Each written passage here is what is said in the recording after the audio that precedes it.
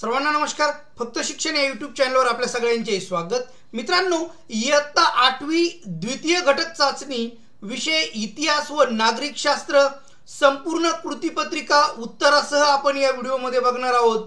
वेळ आहे एक तास एकूण गुण आहे वीस. वीस गुणांची ही चाचणी इतिहास प्रत्यक्षामध्ये इतिहासचे मार्क बारा आहे. तर नागरिक शास्त्राला आठ मार्क आहे. तर बघूया आपण ही संपूर्ण चाचणी. तत्पूर्वी माझी आपणास नम्र विनंती की माझ्या फक्त शिक्षण युट्यूब चॅनलला जर सबस्क्राईब केलं नसेल तर सबस्क्राईब करा. नोटिफिकेशन ऑन करा. म्हणजे माझे नवनवीन व्हिडिओ तुम्हाला सहज मिळत जातील. चला तर मित्रांनो सुरू करूया आपण. प्रश्न पहिला आहे दिलेल्या पर्यायापैकी योग्य पर्याय निवडून लिहा. रिकाम्या जागा भरायच्यात आपल्याला. दुसऱ्या गोलमेज परिषदेला राष्ट्रीय सभेचे प्रतिनिधी म्हणून डॅश डॅश उपस्थित होते. कोण उपस्थित होतं? तर इथं चार पर्याय दिलेले आहे. यामध्ये बघा ब उत्तराचा पर्याय आपला महात्मा गांधी.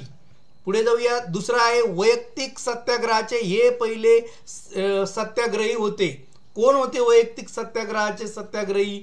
चार पर्याय दिलेले आहे मित्रांनो इथे देखील. महात्मा गांधी जयप्रकाश नारायण विनोबा भावे आणि शिरीष कुमार. तर याच्या उत्तराचा पर्याय क आहे विनोबा भावे. पुढे जाऊया. तिसरा आहे इंडिया हाऊसची स्थापना यांनी केली.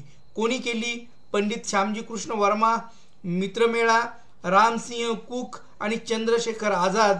तर या तिसऱ्याचा उत्तराचा पर्याय आपला पंडित श्यामजी कृष्ण वर्मा. पुढे जाऊया. पुढे आहे तीन मार्क झाले मित्रांनो आपले. पुढे दुसरा प्रश्न आहे टिपा लिहा गोलमेज परिष दुसरी गोलमेज परिषद. हिच्यावर टिप लिहायची आपल्याला अर्थात दोन मार्कासाठी आहे हे. दुसरी गोलमेज परिषद एकोणीसशे एकतीस साली दुसऱ्या गोलमेज परिषदेचे आयोजन करण्यात आले.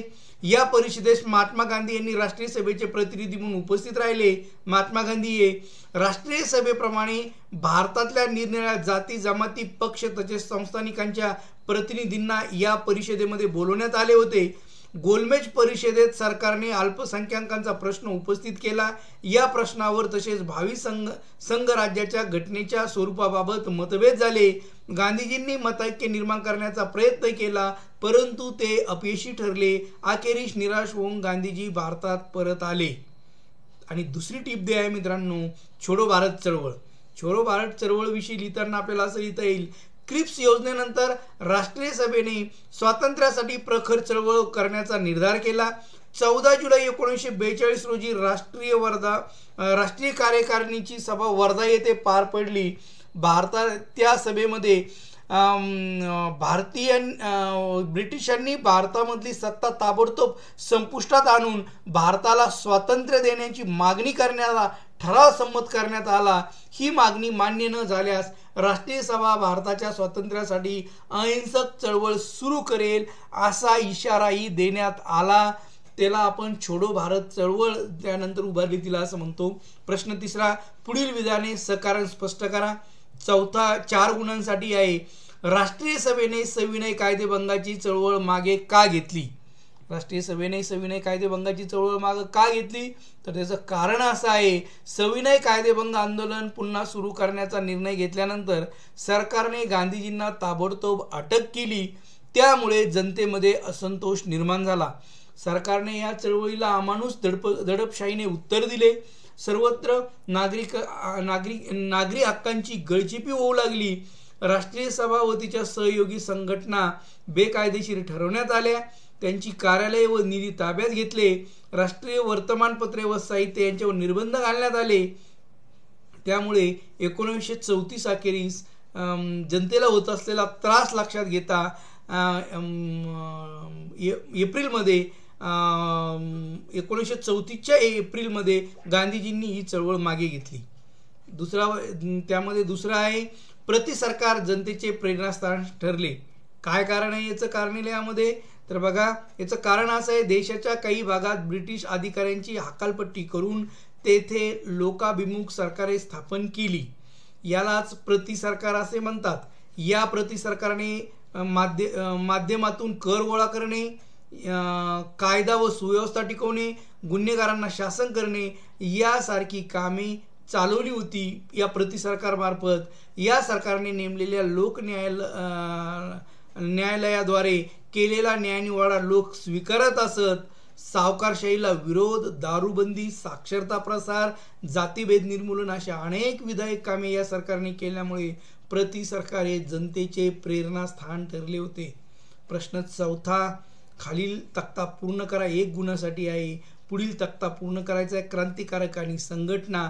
इथं अभिनव भारत आहे आणि इकडं बारिंद्र कुमार घोष आहेत. तर अभिनव भारत विनायक दामोदर सावरकर यांनी ही संघटना या संघटनेचे एक क्रांतिकारक होते.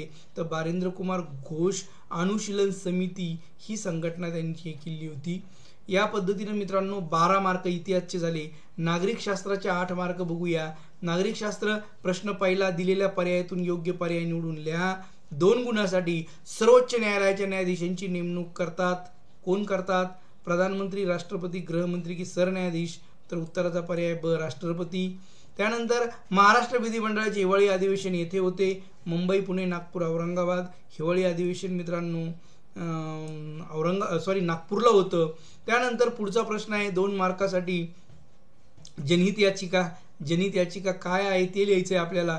जनित याचिका म्हणजे सार्वजनिक प्रश्न सोडवण्यासाठी प्रयत्नशील असलेले नागरिक सामाजिक संघटना किंवा बिगर शासकीय संघटना यांनी संपूर्ण जनतेच्या वतीने न्यायालयात दाखल केलेली याचिका होय न्यायालय त्यावर विचार करून निर्णय देते. त्यानंतर बघा दोन मार्क रिकाम्या जागेचे झाले नागरिक शास्त्राचे दोन मार्क संकल्पना स्पष्ट करा आणि चार मार्क ह्या तिसऱ्या प्रश्नाला आहे. खालील प्रश्नांची पंचवीस ते तीस शब्दात उत्तरे लिहा. एक समाजात कायद्याची गरज असते. तर आपल्याला याचं उत्तर लिहायचं आहे का गरज असते याविषयी लिहायचं आहे समाजात वावरताना व्यक्ती व्यक्तीमध्ये मते विचार दृष्टिकोन समजुती श्रद्धा संस्कृती इत्यादी बाबत भिन्नता असते. सहिष्णुता बाळगल्यास या बाबीमधून संघर्ष निर्माण होत नाही परंतु मतभिन्नता टोकाची झाल्यास त्यातून संघर्ष निर्माण होतात व त्याचे निराकरण निष्पक्षपाती दृष्टीने कायद्याच्या आधारे होण्याची गरज असते. त्यासाठी समाजामध्ये कायद्यांची गरज असते. पुढे जाऊ मित्रांनो दुसरा प्रश्न आहे सर्वोच्च न्यायालयाची कार्य स्पष्ट करा. तर सर्वोच्च न्यायालयाची कार्य स्पष्ट करताना आपल्याला नंबर एक संघ राज्यांचे न्यायालय या भूमिकेतून केंद्र शासन व घटक राज्ये घटक राज्य व राज्य राज्य व घटक राज्ये केंद्र शासन व घटक राज्य विरुद्ध अन्य घटका घटक राज्याबरोबर तंटे सोडवणे. नागरिकांच्या मूलभूत हक्कांचे रक्षण करणे त्यासाठी आदेश देणे कनिष्ठ न्यायालयांनी दिलेल्या निर्णयाचे पुनर्विचार करणे आपल्याही निर्णयाचा पुनर्विचार करणे म्हणजे न्यायालय स्वतः दिलेल्या निर्णयाचा देखील पुनर्विचार करते. आपण बघितलेलं आहे सार्वजनिकदृष्ट्या महत्त्वाच्या प्रश्नावर कायदेशीर बाजू समजून घेण्यासाठी राष्ट्रपतींनी सल्ला विचारल्यास राष्ट्रपतींना तो सल्ला देणे इत्यादी कामे सर्वोच्च न्यायालय जी आहेत आपल्याला अजूनही लिहिता येतील या पद्धतीनं आपण लिहू शकतो मित्रांनो. पुन्हा नवीन व्हिडिओमध्ये लवकरच भेटूया. तोपर्यंत धन्यवाद.